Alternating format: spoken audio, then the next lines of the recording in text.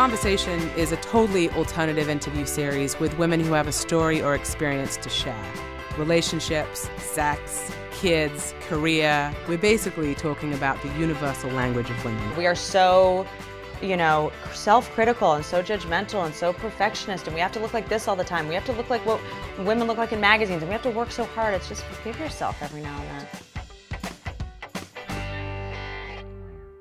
The beginning when I first started doing stand up and I was doing so many spots a night. I was trying to do like five, six spots a night. So wait, I, wait, wait, five or six a night? Five or six in different places. In different places. Did so you I have roller skates or I like did, how did you get around? I just had fear.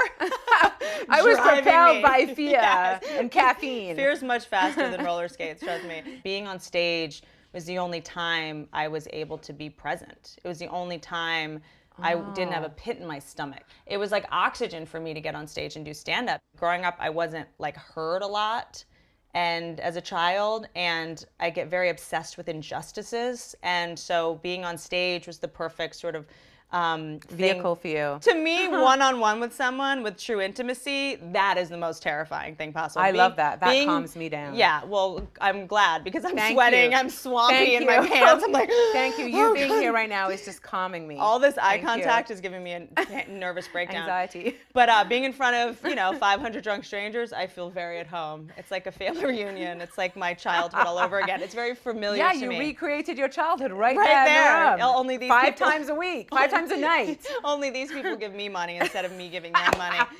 But that's, you know, it was the thing that kept me sane. You yeah. know, in my 20s, it was the thing that I mean, my brain was like on fire and I was in a lot of pain in my 20s. And it's the one time being on stage that I felt safe. And, and you I felt, felt like you. That I felt authentic.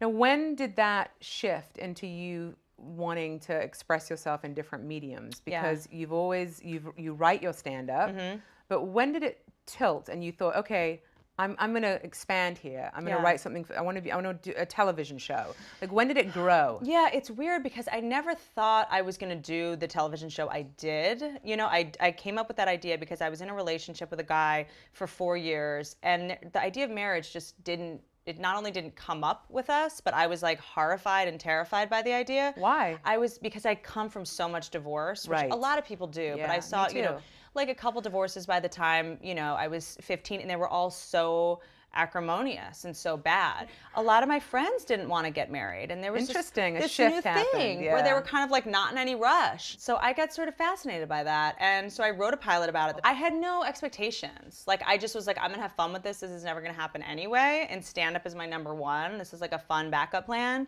and it ended up working out.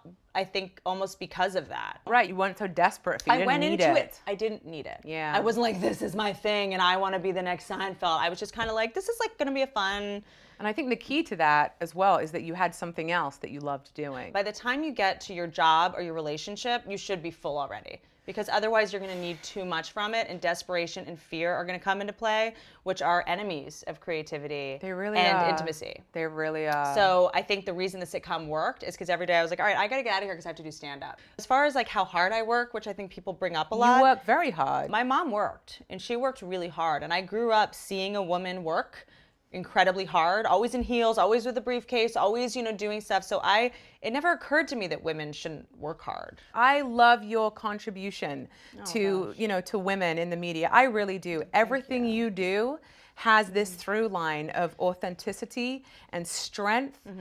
And you know, there are so few people who across the board you look at their work. Yeah. That's the theme for you. It's yeah. the common thread and mm-hmm. I admire it and, and there are times it. though you have to be vigilant about protecting that. So there are times I'm in the writer's room where someone's like, Oh, she says this. I'm like, that makes her sound stupid. It's a funny joke but it makes her sound stupid. Are there any other women in your writing yes, room? Yes, I have half women, half men. Great. Yeah, they're fantastic. But half of my men are basically women. but you know, it's, honorary women. But totally. But it's interesting. Like I'm like that makes her seem weak. That makes her seem upset. Like that's just it's right. Funny. You can't zone out for a minute, otherwise a lot of times you in. have to be very conscious all the time because it can get away from you and slip yeah. through your fingers. Just especially in the grind of you have to write so fast. You have to do so much so fast. There's so many easy, quick jokes, but you're like, no, that really throws this character under the bus, or oh, is insulting to women, or a step back, or you know, if I was a young girl watching that, it would give me the wrong message. I wouldn't want my kids watching that, you know, so it's something I try to be conscious of a well, lot. I commend your commitment to that because it is so evident in, in what you put out in the world. But it's not like I'm going out of my way to write these you know, strong women. I'm like, these are just what the women, I know are like. I agree. These are just women. I agree. this isn't like I'm creating this character. I'm like, these are all the women I know right, act like but this. we just haven't been represented. But men that write most of the media see women as these like irrational, flighty. that's oh, just, that's through that perspective. PMSing all the time. Yes. You know, needy messes. That that's what you see. But I'm like, that's just not the way I see women. Well, that's the reality. women. Yeah, I'm just writing reality. Yeah. As far as I'm concerned. I'm with you, You know? sister. What is your biggest vice? I define vice as something that you enjoy that is also bad for you. Is that a, is that a good That would be the good- definition? yes, absolutely. I'd probably say work because when it starts to be something cross the bell curve of something that starts being bad for you Mm-hmm. or making your life tough or compromising your health, that's when it becomes a vice. So I think that work sometimes I take it a little bit too far. what is the best piece of advice you've ever been given? Someone said to me once, a comedian at the comedy store, and I never saw him again after this. He was like an open micer, and he just, you know, I was doing, I dropped something and I picked it up and I like cleaned it off. I did something really meticulously that was really mundane task. And he goes, you know, the way you do everything is the way you do anything. Mm. And I was like, whoa, that's so intense. It's true. Okay, what would you tell your 14 year old self? Oh man, if my 14 year old self could like comprehend this idea that the idea of like your parents are just people, they're not heroes.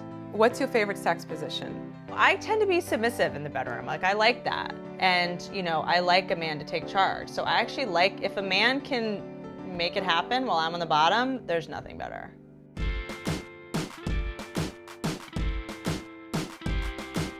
I too, are, like, are we being attacked? I actually think we might be. we should, Well, you know. we should just go on CNN real fast to make sure. Busy day. It's good to know the economy's. JetBlue. I know. I thought there were no flights out of Burbank, Eliza. I mean, we can never get flights out of Burbank. Never. I know. Who knew?